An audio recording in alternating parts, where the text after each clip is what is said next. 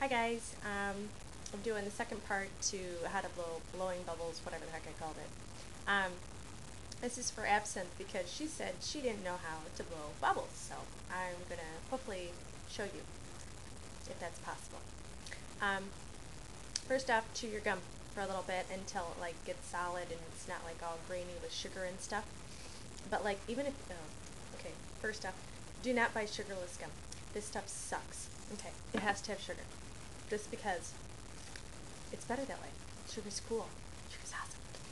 I am now chewing um, Bubblicious Watermelon Wave. I do prefer Hubba Bubba, but this stuff on camera looks green and like tannish and gross, and I figured um, pink would match better, so that's why I'm chewing this guy. Um, so anyways, first thing you do is you are going to take the gum and uh, press it up against like your front teeth with them kind of closed. I love that. And uh, stretch it out so that you are going to be able to stick your tongue through.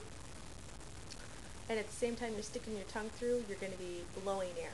Because your tongue is making a pocket, and then you've got to put air in the pocket in order to make the bubble. Okay. I hope this is making some sense.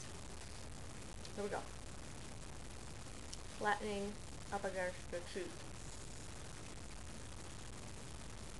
And now, now I'm sticking my tongue through. and filling with air. okay, one more time. Flattening. Okay Just sticking my tongue through. I'm filling with air.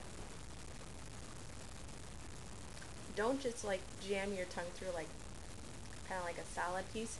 You gotta kind of curve it a little bit so that it makes so the air can come through like like that instead of like like that. Oh God,